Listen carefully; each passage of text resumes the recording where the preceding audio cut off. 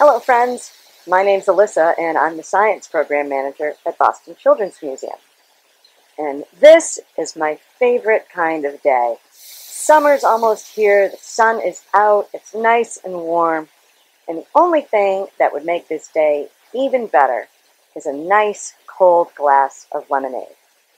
And today, we're going to learn how to make not just any glass of lemonade, but we're going to use science make fizzy lemonade.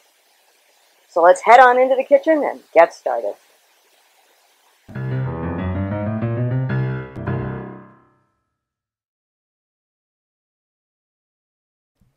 Here's the things you'll need. Two or three lemons, some water, a teaspoon of baking soda, a teaspoon of sugar, a bowl, a juicer. There's lots of kinds of juicers. There's electric ones, there's handheld ones like this, there's tabletop ones. So don't worry if yours doesn't look like the one shown here. A strainer,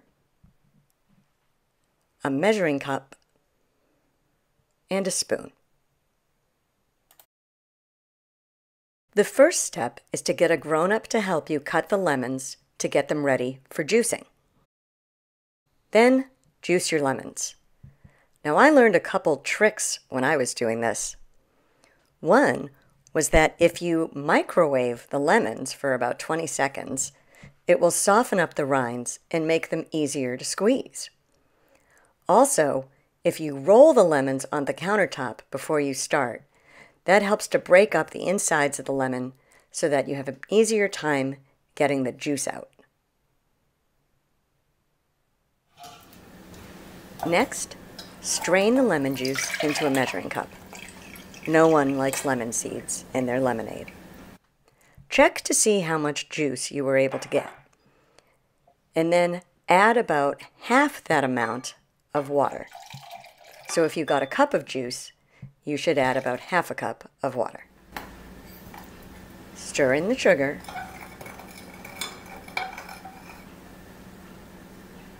Then add the baking soda. Look at all those bubbles. Do you hear the fizz? Pour it into a glass and enjoy your fizzy lemonade.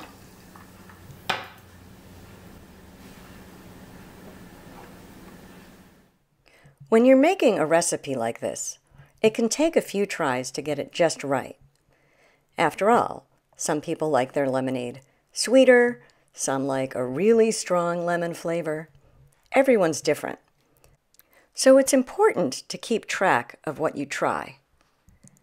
Make note of what you liked or didn't like about it so you know what to change next time.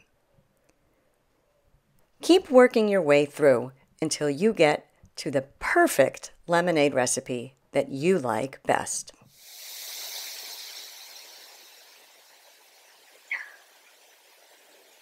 Perfect. Well, I hope you enjoyed learning how to make fizzy lemonade today. And I'll be back later on this summer with more fun summer science activities you can try at home. If you enjoyed this video, don't forget to check us out on social media and subscribe to us on YouTube. Just click the big red button. Thanks for joining me, and I'll see you next time.